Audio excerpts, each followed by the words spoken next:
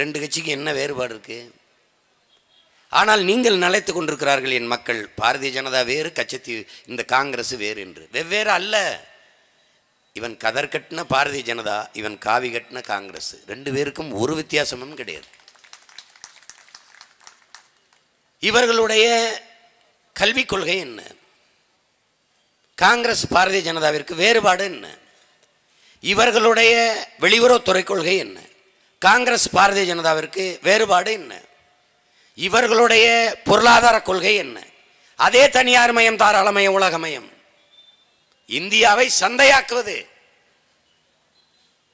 உள்நாட்டு வெளிநாட்டு பெரும் முதலாளிகளுக்கு தரகு வேலை பார்ப்பதை தவிர இந்த இரண்டு கட்சிகளுக்கும் கொள்கை முடிவென்ன யாராவது ஒருவர் இல்லை என் தங்கை சோதிமணி சொல்வார்களா காங்கிரஸ் பாரதிய ஜனதாவிலிருந்து இந்த இடத்தில் வேறுபடுது என்று.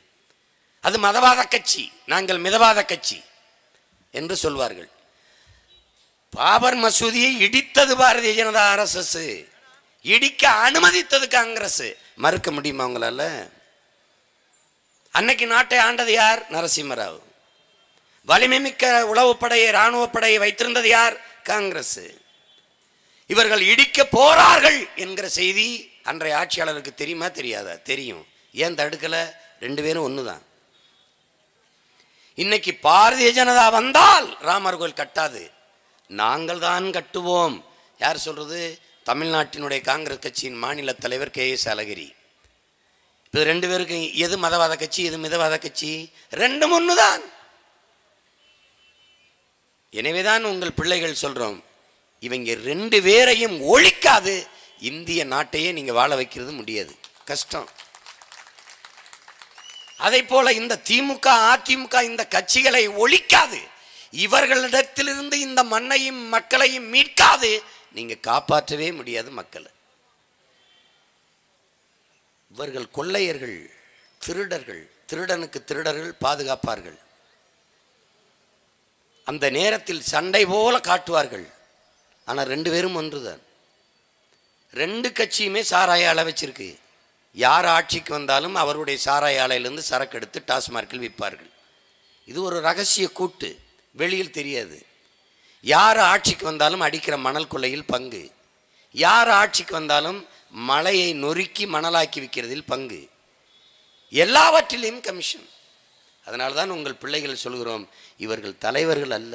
இவர்கள் புரோக்கர்ஸ் தரகர்கள் என்று சொல்கிறோம் அறிவார்ந்த மக்கள் என் அன்பிற்குரிய சொந்தங்கள் இதை சிந்திச்சு பார்க்கணும். எல்லாம் தனியார் மயமாக்கப்பட்டுருச்சு தேசத்தில். எல்லாம் முதலாளிகளின் லாபம் ஈட்டும் தொழிலாக மாறிட்டது. எதுவெல்லாம் நமக்கு சேவையோ எதுவெல்லாம் மக்களின் அடிப்படை தேவையோ அதுவெல்லாம் லாபம் ஈட்டும் தொழிலாக மாற்றப்பட்டிருக்குது. கல்வி மானுட உரிமை. அறிவை வளர்க்கும் கல்வி இன்றைக்கு தனியார் முதலாளிகளின் விற்பனை பொருள். கல்வியை அரசும் நடத்துகிறது. கல்வி நிறுவனங்களை. ஆனால் தரமாக இருக்கிறதா? அரசை நடத்துகிறவர்களின் பிள்ளைகள் அரசு பள்ளி கல்லூரிகளில் படிக்கிறார்களா? அந்த பள்ளியில் வேலை செய்கிற ஆசிரியர் பெருமக்கள் பேராசிரியர் பெருமக்கள் பிள்ளைகள் அந்த பள்ளி கல்லூரிகளில் படிக்கிறார்களா? ஒரு பள்ளிக்கூடம் அந்த பள்ளியிலே வேலை செய்கிற ஆசிரியை ஒரு அம்மா தாமதமாக பள்ளிக்கு வருகிறார். தலைமை ஆசிரியர் கேட்கிறார் ஏனம்மா தாமதம் என்று? என் பிள்ளையை பள்ளிக்கூடத்தில் விட்டு விட்டு வர நேரமாகிவிட்டது என்கிறார். அப்போ அவர் வேலை செய்கிறது பள்ளிக்கூடமா இல்லையா? பள்ளிக்கூடம் தான் கல்வி தரமாக இல்லை. ஏன்?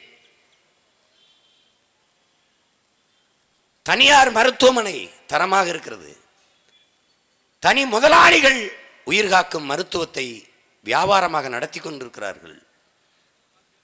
ஆனால் அரசும் மருத்துவமனை நடத்துகிறது. ஒப்புக்கு பேருக்கு. அந்த மருத்துவமனையின் தரம் என்ன?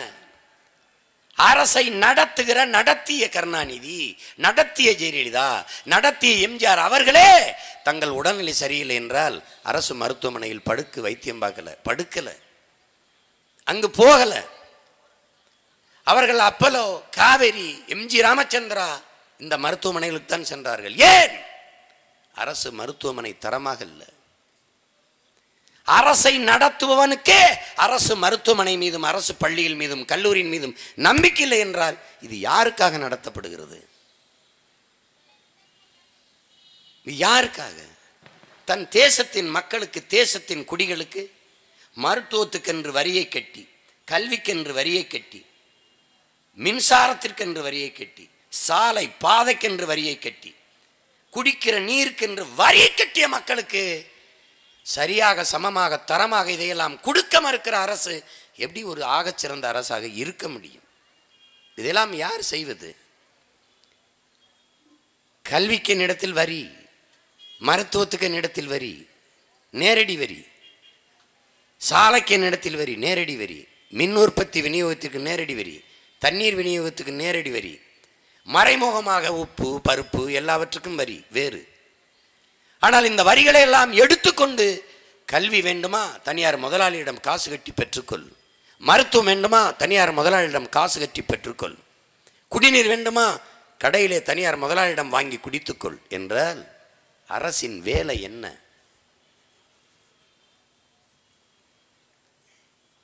கமிஷனை வாங்கி கொண்டு கையெழுத்து போட்டுட்டு இருப்பதுதான் அரசின் வேலை என்றால் அறிவார்ந்த மக்கள் சொந்தங்கள் இவர்கள் தலைவர்களா தரகர்களா என்று. எத்தனை காலத்திற்கு இவர்கள் நம்மை ஏமாற்றுவார்கள்? மறுபடியும் மறுபடியும் முதலாளிகளுக்கான முகவர்களையே நாம் தேர்வு செய்து கொண்டிருப்பது எவ்வளவு ஏமாற்று எவ்வளவு பைத்தியக்காரத்தனம். பல ஆயிரம் கோடியை கொட்டி தேர்தலை எதிர்கொள்கிறார்கள். இந்த பணம் ஏது? இப்போது முதலீடு செய்து வென்று போகிறவர் மக்கள் சேவைக்காக முதலீடு செய்கிறாரா? தன் லாப தேவைக்காக முதலீடு செய்கிறாரா? திரும்ப ஆட்சிக்கு வருவார் அதிகாரத்துக்கு வருவார். மறுபடியும் பல ஆயிரம் கோடிகளை கொள்ளையடிப்பார்கள். மலைகளை விற்பார்கள் மணலை விற்பார்கள். தொட்டதுக்கெல்லாம் ஊழல் லஞ்சம் கமிஷன். அறிவார்ந்த மக்கள் என் அன்பு சொந்தங்கள் பத்தொன்பதாயிரத்தி ஐநூறு கோடி பத்தொன்பதாயிரம் கோடி இருபதாயிரம் கோடியை மின்சாரத்தை வாங்குவதில் நமது அரசு முதலீடு செய்து. இது ஏன் யாரிடமிருந்து வாங்குது? மாற்று மாநிலங்களில் இருந்து. அந்த மாநிலத்தில் இருக்கிற தனியார் முதலாளிகளிடம் இருந்து. இந்த பத்தொன்பதாயிரத்திற்கு மேலான கோடிகளை மின்சாரத்தை வாங்குவதில் முதலீடு செய்கிற என் அரசு ஏன் உற்பத்தியில் முதலீடு செய்யலை? உற்பத்தியில் முதலீடு செய்தால் கமிஷன் இருக்காது. வாங்குவதில் முதலீடு செய்தால் ஒரு யூனிட் மின்சாரத்திற்கு பத்து காசு இருபது காசில் வைத்தாலும் பல ஆயிரம் கோடி லாபம் இருக்கு. இதனால் தான் நாங்கள் சொல்கிறோம் இவர்கள் தலைவர்கள் அல்ல தரகர்கள் என்று. தேசத்தின் எதிர்காலத்தை வருங்கால பிள்ளைகளின் நலனை சிந்திக்கிறவர்கள் இதுவரை தடையற்ற மின்சாரம் கொடுக்க வகுத்த திட்டம் என்ன? தூய குடிநீரை தன் தேசத்தின் குடிகளுக்கு கொடுக்க வகுத்து வச்சிருக்கிற திட்டம் என்ன? வீட்டுக்கு வீடு மழைநீரை சேமியுங்கள் என்றார்கள். வீட்டில் நாம் சேமித்தோம். நாட்டில் இவர்கள் சேமித்தது எவ்வளவு? இது என்ன திட்டம்? இது எந்த மாதிரியான போக்கு? இது எப்படிப்பட்ட பயணம்? இவர்கள் எங்கே கொண்டு போய் நம்மை நிறுத்தப் போகிறார்கள்? அறிவார்ந்த மக்கள் என் அன்பு உடன் பிறந்தவர்கள் இதை சிந்திக்க வேண்டாமா வேண்டாமா? என்ன வைத்திருக்கிறீர்கள் நம் பிள்ளைகளுக்கு? என்ன வைத்துவிட்டு போக போகிறோம் நம் சந்ததியினருக்கு? யாரிடத்தில் பதில் இருக்கிறது? குடிக்க நீர் சுவாசிக்க காற்று என்ன வைத்திருக்கிறோம்? எல்லாவற்றையும் அழித்தாகிவிட்டது காடுகளை மலைகளை ஆறுகளை எல்லாவற்றையும் அழித்தாகிவிட்டது எல்லாம் காசு எல்லாம் காசு பணம். பணத்தை வைத்துக்கொண்டு வாழ்ந்து விடலாம் என்று நினைக்கிற ஒரு பைத்தியக்கார கூட்டத்தை எங்கே போய் தொலைப்பீர்கள்? வங்கியில் ஒரு கோடி போடுவீர்கள். அந்த வங்கி வட்டி கொடுக்கும். சாப்பிட ரொட்டி கொடுக்குமா என்கிற கேள்விக்கு யாரிடத்தில் பதில் இருக்கிறது? நண்பிற்குரிய மக்களே இவர்கள் காட்டுகிற வளர்ச்சி எப்படிப்பட்ட போக்கானது என்பதை நீங்கள் இன்னுமா புரிந்து கொள்ளவில்லை? ஒரு வீட்டுக்கு முன்பு நான்கு கார்கள் அடுக்கி வைக்கப்பட்டிருக்கும். கார் நிறைய பெட்ரோல் நிரப்பி வைக்கப்பட்டிருக்கும். ஆனால் வீட்டுக்குள் இருக்கிற அத்தனை குடங்களும் காலியாக இருக்கும். இது வளர்ச்சி அல்ல என் அன்பு மக்களே வறட்சி என்பதை நீங்கள் புரிந்து கொள்ள வேண்டும். எதை நோக்கி போகிறது நாடு? எதை நோக்கி போகிறது? ஒவ்வொரு நாடும் பல தட்பவெப்ப சூழ்நிலையில் கொண்ட நாடுகள் இருக்குது. ஆறு மாதம் பனி கொட்டும் ரெண்டு மாதம் பனி கொட்டும் பல மாதங்கள் மழை பெய்யும். அப்படி இல்லை இந்தியா. மிக அழகான சூழியலை கொண்ட ஒரு நாடு. நிறைய நிலத்தின் வளங்களை கொண்ட நாடு. அளப்பெரிய மனித ஆற்றலை கொண்ட நாடு. ஆனாலும் இந்த நாடு பிச்சை எடுக்கிறது. அத்தியாவசிய பொருளான வெங்காயம் பருப்புக்கு வெளிநாடுகளிலிருந்து இறக்குமதி செய்கிறது. வேளாண்மை விட்டு வெளியேற்றி விட்டது மக்களை. விவசாயத்தை விட்டு வெளியேறுங்கள் என்று சொல்லுகிறது. அது சொல்லுகிறது நமக்கு கணினி துறையில் அந்நிய செலாவணி பல ஆயிரக்கணக்கான கோடிகள் கிடைக்கிறது. அதை வைத்துக்கொண்டு நாம் உணவுப் பொருளை இறக்குமதி செய்து கொள்ளலாம். வேளாண்மை பற்றி கவலைப்படாதீர்கள் என்று சொல்லுது. அறிவார்ந்த என் மக்கள் சிந்தியுங்கள். எந்த நாட்டிலிருந்து இறக்குமதி செய்யும்? எல்லா நாடுகளும் இந்தியா சிந்திப்பது போல தொழில்துறையில் தொழில் வளர்ச்சியில் கவனம் பண்ணிக்கொண்டே நம்ம போகலாம். அதில் முன்னேறி கொண்டே போகலாம். வேளாண்மை பற்றி கவலைப்பட வேண்டாம் என்று எல்லா நாடுகளும் நினைத்தால் எந்த நாட்டிலிருந்து நீங்கள் உணவுப் பொருளை இறக்குமதி செய்வீர்கள்? நீங்களே கவனித்தீர்கள். ஐயா வாஜ்பாய் ஆட்சி காலத்தில் வெங்காயம் எவ்வளவு பெரிய தட்டுப்பாட்டை உருவாக்கியது என்று. இப்போது நரேந்திர மோடி காலத்திலும் வெங்காயம் எகிப்திலிருந்து இறக்குமதி செய்யப்பட்டது. ஒரு பாலைவன நாட்டிலிருந்து. பருப்பு பக்கத்து நாடுகளிலிருந்து இறக்குமதி செய்யப்பட்டது. பத்து கோடி அஞ்சு கோடி மக்களை கொண்ட நாடு அல்ல பாரத நாடு இந்திய நாடு. நூற்றி முப்பது கோடி மக்களை கொண்ட நாடு. ஒவ்வொரு வரைவு அறிக்கையிலையும் ஒவ்வொரு நிதிநிலை அறிக்கையிலையும் நூறு கோடி மக்களுக்கு கார் கொடுக்கிற திட்டத்தை பெருமையாக பேசுகிறது வளர்ச்சி என்று. செல்போன் கொடுக்கிற திட்டத்தை பெருமையாக பேசுகிறது வளர்ச்சி என்று. ஆனால் நீரும் சோறும் கொடுக்க என்ன திட்டத்தை இந்த ஆட்சியாளர்கள் இதுவரை முன்வைத்திருக்கிறார்கள் என்று அறிவார்ந்த என் மக்கள் சிந்திக்கணும். நான் கையில் வச்சு பேசுகிற செல்போன் நைன் ஜி நாளை டென் ஜி வரும். நாளை மறுநாள் லெவன் ஜி வரும். எத்தனை ஜியும் நீங்கள் வைத்திருக்கலாம் என் அன்பு மக்களே கஞ்சி விவசாயி தான் ஊற்ற வேண்டும் என்பதை அறிவார்ந்த என் மக்கள் சிந்திக்கணும். அலைபேசியிலே செல்போனில் எது ஒன்றையும் டவுன்லோட் பண்ணலாம் பதிவிறக்கம் செய்யலாம். தண்ணீரையும் சோறையும் பதிவிறக்கம் செய்ய முடியாது. அறிவார்ந்த மக்கள் உங்கள் பிள்ளைகள் உங்கள் வயிற்றிலிருந்து வந்ததால் உங்கள் உடன் பிறந்து வந்ததால் பேரன்பு கொண்டு நாங்கள் இந்த மண்ணையும் மக்களையும் நேசிப்பதால் இதை பேசுகிறோம். என்ன இருக்கிறது? ஒரே ஒரு பூமி. எத்தனை கோள்கள்? நானூற்றி ஐம்பது கோடி ஆண்டுகளுக்கு முன்பு சூரியனிலிருந்து வெடித்து பிறந்து பிளந்த குழந்தைகள்தான் இத்தனை கோள்களும். அதில் ஒரே ஒரு கோள் தான் இந்த மனிதர்கள் உயிரினங்கள் வாழ முடிகிறது. அது பூமியில். இது நெருப்பின் குழந்தை. நாளடைவில் மேல்மட்டம் குளிர்ந்து குளிர்ந்து உயிரினங்கள் வாழ்வதற்கு வாய்ப்பான பூமியாக அது மாறிவிட்டது. இந்த H two O hydrogen oxygen H two hydrogen ஒன்று ஆக்சிஜன் ரெண்டு என்றால் நீர் இருக்காது. இயற்கையின் விதி சம விதத்தில் அது கலந்து அது நீர் உண்டாயிட்டது. நீர் எங்கு உருவானதோ அங்குதான் உயிரினங்கள் உருவாகுது. முதலில் ஒரு செல் உயிரினம் உருவாகுது. அதற்கு பிறகு இத்தனை பரிணாம வளர்ச்சியில் இவ்வளவு உயிரினங்கள். இது இயற்கை. ஆனால் ஒரே ஒரு பூமி மனிதர்கள் தோன்றுவதற்கு முன்பே பல கோடி ஆண்டுகளுக்கு முன்பு பல லட்சக்கணக்கான உயிரினங்கள் தோன்றிடுச்சு அதை நீங்கள் புரிஞ்சுக்கணும். இந்த பூமி மனிதனுக்கு சொந்தமானது இல்லை என்கிற மகத்தான உண்மையை என் அன்பு சொந்தங்கள் என் அருமை தம்பிதங்கள் புரிஞ்சுக்கணும். மனிதன்தான் பூமிக்கு சொந்தமானவன் என்பதை நீங்கள் புரிஞ்சுக்கணும். மனிதனுக்கு சொந்தமானது பூமி இல்லை. இதை நுட்பமாக விளங்கணும் கவிப்பேரரசு வைரமுத்தவர்கள் சொல்கிறார்கள் கடைசியது தோன்றியது எதுவோ அதுவே உலகில் ஆட்சி செய்கிறது என்று. கடைசியாக தோன்றியது சாதி மதம் கடவுள் அது ஆட்சி செய்து. கடைசியாக தோன்றியவன் மனிதன் அவன் அதிகாரம் செய்கிறான். இதை நீங்கள் வே இதை நல்லா நுட்பமாக பார்த்துக்கணும். தான் வாழ்வதற்கு எது ஒன்றையும் அழிக்கிற ஒரு ஒருவன் வந்து மனிதன்தான் பூச்சி அழிப்பதில்லை வண்டு அழிப்பதில்லை விலங்குகள் அழிப்பதில்லை மரங்கள் அழிப்பதில்லை. எத்தனை உயிரினங்கள் தான் வாழ்வதற்கு பெரிதொன்றை அழிப்பதில்லை. இவன்தான் எல்லாவற்றையும் வேட்டையாடுகிறான். பெற்ற தாயை கொலை செய்கிற ஒருவன் மனிதன் மட்டும்தான். என் அன்பிற்குரிய மக்களே என் அருமை சொந்தங்களே. பிரான்ஸ் மன்னியல் ஆய்வறிஞன் கிளாடு புரிங்கோ என் அன்பான மக்களே என் அருமை பிள்ளைகளை ஓடி வாருங்கள்.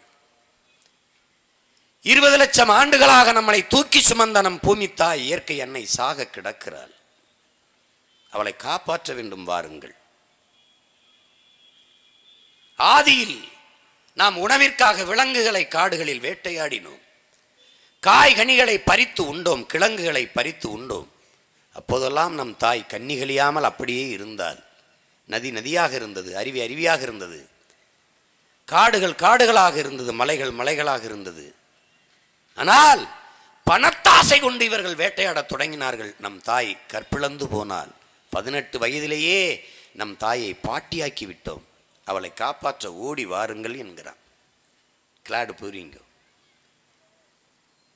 அண்ணல் காந்தியடிகள் நம் இயற்கை அன்னை இந்த பூமி தாய் உலகில் எல்லா உயிர்களுக்குமான தேவையை தந்து விடுகிறாள். மனிதனின் பேராசைக்கு தர முடியாமல் தவிக்கிறாள் என்று சொல்கிறார். புத்தன் இயற்கையின் மகன் நீ இயற்கையின் குழந்தை நீ. இயற்கையோடு மோதி நீ வெல்லவே முடியாது. அதலால் ஒரு பூவில் ஒரு வண்டு தன் உணவுக்காக தேனை உண்ணப் போகிற போது அந்த பூவுக்கு எந்த சேதமும் இல்லாமல் உண்டு விட்டு திரும்புவது போல நீ இயற்கையை பயன்படுத்திக் கொள் என்று கற்பிக்கிறான் புத்தன். ஆனால் இங்கு என் அன்பிற்குரிய சொந்தங்களே தாயின் மாறில் பால் குடிக்கலாம். ஆனால் அந்த மாறை அறுத்து ரத்தம் குடிப்பது எப்படிப்பட்ட கொடுமையோ அப்படிப்பட்ட கொடுமையை நம் பூமிக்கு செய்து கொண்டிருக்கிறார்கள் இவர்கள். தாயின் முளைமார்பில் இருந்து பால் பூமி தாயின் மலைமார்பில் இருந்த அருவி. அருவிதான் ஆறை உருவாக்கியது. இங்கு சில அறிவு கட்ட முட்டாள்கள் மடையர்கள் நதிகளை இணைக்கப் போகிறோம். அதற்கு நாங்கள் திட்டங்களை வகுக்கிறோம். பல கோடிகளை ஒதுக்குகிறோம் என்று பல இடியட்ஸ் பேசிக்கொண்டு அலைகிறார்கள். ஏரியை என் தாத்தன் வெட்டினான் குளத்தை என் தாத்தன் வெட்டினான் கம்மாயை என் பாட்டன் முப்பாட்டன் வெட்டினான் ஏந்தலை தாங்கலை கிணறை வெட்டினான் ஊரணியை வெட்டினான். ஆரை நாங்கள் உருவாக்கவில்லை அது இயற்கையின் பெருங்கொடை. அருவி தானாக பாதை கண்டு ஓடியது.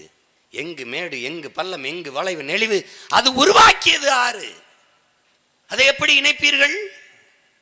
எப்படி இணைப்பீர்கள்?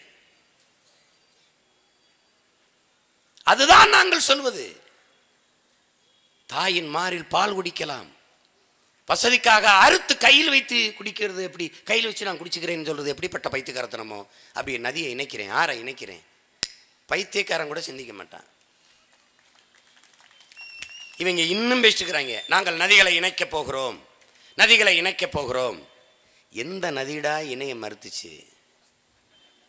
எந்த நதி இணைய மறுத்துச்சு? நீங்கள் தாண்டா இணைய மறுக்கிறீங்க.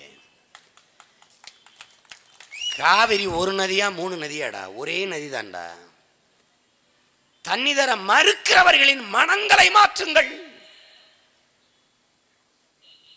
நூற்றம்பது டிஎம்சி தண்ணீர் தர மறுப்பவன்ட்ட நதியை இணைக்க போறேன்னா நாடு அக்குத்துக்கா பிஞ்சு போயிடும் புரியாது. நதிகளை இணைக்கிறோம் நதிகளை இணைக்கிறோம்.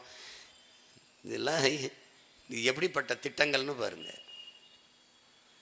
அறிவார்ந்த மக்கள் ஒரு பூமி தான் வச்சுருக்கோம் ஸ்டீவன் ஹாக்கின்ஸ் இறந்து விட்டார் அந்த மேதை. என் அன்பு மக்களே உயிரினங்கள் வாழ்வதற்கு வாய்ப்பற்றதாக இந்த பூமியை மாற்றி விட்டார்கள் நீங்கள் வேறு கண்டங்களை நோக்கி கிரகங்களை நோக்கி படையெடுங்கள் என்கிறார். அந்த நிலை நமக்கு உருவாகிவிட்டது. நீரற்ற நிலமாக நம் தாய் நிலம் மாறிக்கொண்டிருக்கிறது. தாயின் மாறில் பால் வத்திவிட்டது. இனி என்னதான் அழுதாலும் நம் தாயால் நமக்கு பால் ஊட்ட முடியாது. ரத்தம் குடிப்பதை தவிர நமக்கு வழி இல்லை. என் அன்பிற்குரிய தம்பிதங்கைகள் பேரன்பு கொண்டு நேசித்து நிற்கிற இந்த அண்ணன் உங்கள் உடன் பிறந்தவன் சொல்வதை கவனத்தில் எடுங்கள். ஒரு பூமிதான். இதை நீங்களே வாழ்ந்து தீர்த்து விட்டு போக முடியாது. இன்னொரு தலைமுறையின் சொத்து இது. மலை என்பது இயற்கையின் பெருங்கொடை. அறிவார்ந்த மக்கள் நீங்கள் அறியாததல்ல. அறியாததல்ல. கடல் நீர் சாதியும் மதமும் நம்மை காப்பாற்றாது. சாமி நம்மை காப்பாற்றாது காப்பாற்றியது இல்லை. இந்த பூமிதான் நம்மளை இவ்வளவு ஆண்டுகள் காப்பாற்றி வைத்திருக்கிறது. இந்த உண்மையை நீங்கள் புரிந்து கொள்ளணும். சூரிய ஒளி வெப்பம் கடல் நீர் நீராவி மேலே எழுந்து போகிறது. இது மேகமாக மாற முடியல. கணம் இல்லை அடர்த்தி இல்லை. காத்திருக்கிறது. மரங்களின் வியர்வை மனித உடலின் வியர்வை விலங்குகளின் வியர்வை இதுவெல்லாம் மேலே நீராவியாகி போகிறது. காற்று மண்டலத்தில் பறந்து ப- அங்கே சுற்றி கொண்டிருக்கிற தூசி கரி இவையெல்லாம் சேர்ந்து ஒரு மேகமாக உருவெடுக்கிறது. அந்த மேகத்தை காற்று தள்ளி கொண்டு போகிறது. அந்த காற்றை தடுத்து நிறுத்துகிற பேராற்றல் கொண்ட அரண் மலைகள். அன்பு மக்கள் நீங்கள் அறிந்து கொள்ளணும். ஒரு நாட்டின் எதிர்காலம் என்பது அந்த நாட்டின் வகுப்பறையில் தீர்மானிக்கப்படுது. ஒரு நாட்டின் நலன் அந்த நாட்டின் ஒவ்வொரு வீட்டின் சமையலறையில் தீர்மானிக்கப்படுது. அந்த நாட்டின் வளம் என்பது அந்த நாடு பெற்றிருக்கிற நிலத்தின் வளத்தை பொறுத்தது. அந்த நாட்டின் நிலத்தின் வளம் என்பது அந்த நாடு பெற்றிருக்கிற நீரின் வளத்தை பொறுத்தது. அந்த நாடு பெற்றிருக்கிற நீரின் வளம் என்பது அந்த நாடு பெறுகிற மழையின் வளத்தை பொறுத்தது. அந்த நாடு பெறுகிற மழையின் வளம் என்பது இந்த நாடு பெறுகிற மலைகளின் வளத்தை பொறுத்தது. அந்த மலை இந்த மேகத்தை தடுத்து நிறுத்துது. தலைக்கு தலப்பாக கட்டினது போல மலை முகடுகளில் மேகங்கள் படுத்து உறங்குது. நீங்க பயணிக்கும் போது பார்க்கலாம். அதை மழையாக பூமிக்கு அறுவடை செய்து கொண்டு வருவதற்கு ஒரே ஒரு வழிதான் இருக்கிறது மரங்கள். அந்த மலைகள் முகடுகளில் அடர்ந்து வளர்ந்து இருக்கிற மரங்கள் இரநூறு அடி முந்நூறு அடிக்கு உயர்ந்து நிற்கிற மரங்கள் அதற்கு உடலிலே வேர்க்குது குளு குழு என்று இருக்கிறது. அந்த குளிர்ச்சி பூமிக்கு மேகத்தை அறுவடை செய்து மழையாக கொண்டு வருவது. இது இயற்கையின் விதி. அங்கே விழுகிற நீர் உடனடியாக தரைக்கு வராமல் தடுத்து வைக்கிற பணியை செய்வது புற்கள். அந்த புற்கள் கொஞ்சம் கொஞ்சமாக நீரை வெளியிடுது. அந்த வெளியிடுகிற நீர் அருவியாக கொட்டுது. அந்த அருவி ஆறாக உருவெடுத்து ஓடுது பூமியிலே. மனித உடலுக்கு இரத்த நாளங்கள் போல இரத்த நரம்புகள் போல பூமி தாயின் இயற்கை அன்னையின் இரத்த நாளங்களாக நதிகள் ஓடுது. ஆறு நீர் சோறு வயிறு உயிர் வாழ்க்கை உலகம். நீரின்றி அமையாது உலகு எனின் யார் யாருக்கும் வானின்றி அமையாது ஒழுக்கு. இது தமிழ் மறை கற்பிக்குது அறிவார்ந்த மக்கள் சிந்திக்கணும். இப்போ அந்த ஆற்று மணலை அள்ளி திண்டவர்கள் இங்கே தான் இருக்கிறாங்க. கரூரில் தான் பெரும்பங்கு இருக்குது.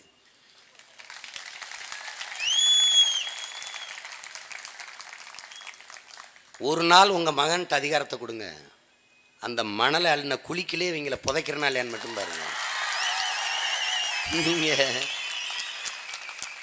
பச்சை துரோகிகள் பாதகர்கள் கொடுங்கோளர்கள். இவங்கள மாதிரி ஒரு அயோக்கிய பயல்களை எல்லாவற்றையும் பணமாக பார்க்கிற பாதகர்கள் இவர்கள்தான். மனித உடலுக்கு தோல் ஆற்றுக்கு மணல். அள்ளி வித்துட்டான். மூணு அடி ஆழம் அல்லணும்ன்ட்டு அரசு ஆணை பிறப்பிக்குது. முப்பது அடி ஆழத்துக்கு அள்ளிட்டான். அவன் பெரிய அறிவாளி மாதிரி நம்மளை கேள்வி வைப்பான். மண் அல்லாமல் வீடு இப்படி கட்டுறதுன்னு. தமிழக மக்களின் மணல் தேவைக்கு மட்டும்தான் இந்த ஆறுகளில் மண் அள்ளப்பட்டதா? அடுத்த கேள்விக்கு பதில் இருக்கா? இப்போ நான் எழுப்பின கேள்விக்கு பதில் இருக்கா? ஆந்திராவில் கேரளாவில் ஆத்து அல்ல முடியுமா? கர்நாடகாவில் அல்ல முடியுமா? அல்ல முடியுமா? தடை. ஏன்? நல்ல ஆத்தாளுக்கும் அப்பனுக்கும் பிறந்தவன் அந்த மண்ணை ஆள்றான். தன் மண்ணின் வளம் என் மக்களின் எதிர்கால நலம் என்று அவன் நினைக்கிறான். காப்பாத்தி வைக்கணும்னு நினைக்கிறான். பாலாற்று மணல் இங்கே கிடைக்கும். காவிரி மணல் இங்கே கிடைக்கும் என்று எல்லா மாநிலங்களும் எழுதி வைக்கப்பட்டு விற்கிது கருணையே இல்லாமல் காசு காசு காசுன்னு. பிணத்தின் நெத்தியில் இருக்கிற காசை எடுத்து திங்கிற இந்த ஈன கூட்டர்களிடத்திலே நீங்கள் என்ன கருணை எதிர்பார்க்க முடியும்? என் அன்பு மக்கள் என் அருமை சொந்தங்கள் இதை கவனத்தில் எடுத்துக்கொண்டு நீங்கள் சிந்திக்கணும். முடிச்சிட்டான் முப்பத்தி ரெண்டு ஆறையும் முடிச்சிட்டான் செத்துருச்சு வித்து தின்னாச்சு மணல் இல்லை. இப்போ எங்கே போகிறான் எம் சாண்டு. பெரிய கண்டுபிடிப்பாளங்க. எம் சாண்ட்னா என்ன? மலை மணல்.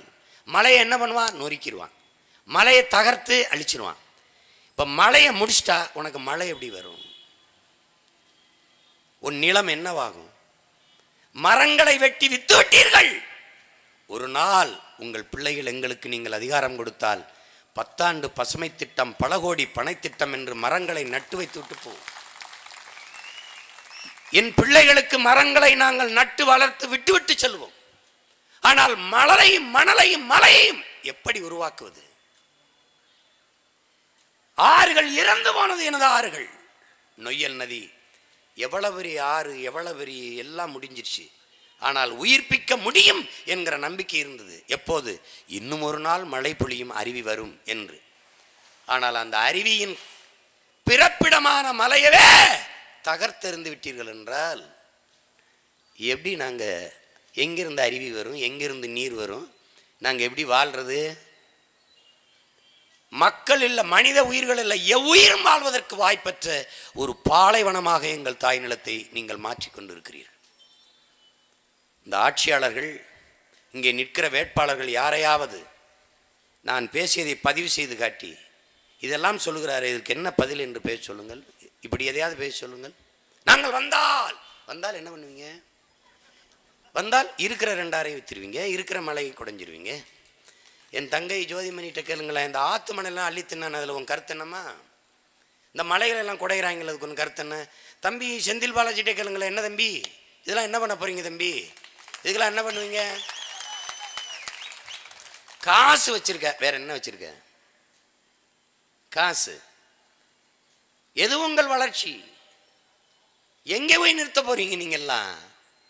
என்ன உனக்கு தெரியும்? ஒன்றுமே தெரியாது. ஒன்றுமே தெரியாது. பதவி பதவி. போன வாரம் அங்கேருந்து இந்த வாரம் இங்கே வந்து. போன தடவை யார் எதிர்த்து தோக்கடிச்சோமோ இந்த தடவை அவங்கள வெள்ள வைக்கணும்னு வேலை செய்கிறது ஏண்டா உங்களுக்கு கொள்கைனா என்னன்னு தெரியுமா? உங்களுக்கு கருத்துனா என்ன லட்சியம்னா என்னன்னு தெரியுமா? ஒரே ஒரு கொள்கை தான் இவர்களுக்கு.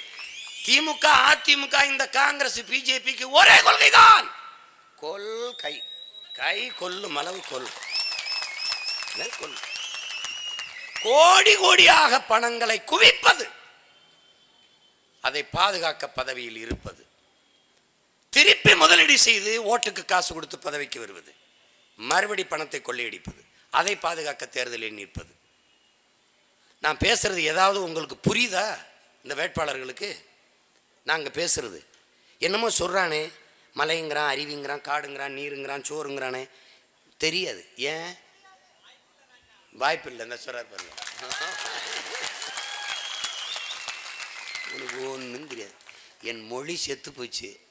தமிழ்னு பேச ஒரு தலைவனை சொல்லு தமிழ்நாட்டில். நாங்கள் போகிறோம் போகிறோம் ஐயா ஸ்டாலின் தமிழ் மானம் காக்க உதயசூரியனுக்கு வாக்களிப்பது தமிழ் மானத்தை கெடுத்ததே நீங்கள் தான் நீங்கள் தமிழ் மானம் காத்திருந்தா நாங்கள் ஏன் வாரோம்? தமிழ் மானத்தையும் தன்மானத்தையும் அடமானம் வைத்த கூட்டம் நீங்கள்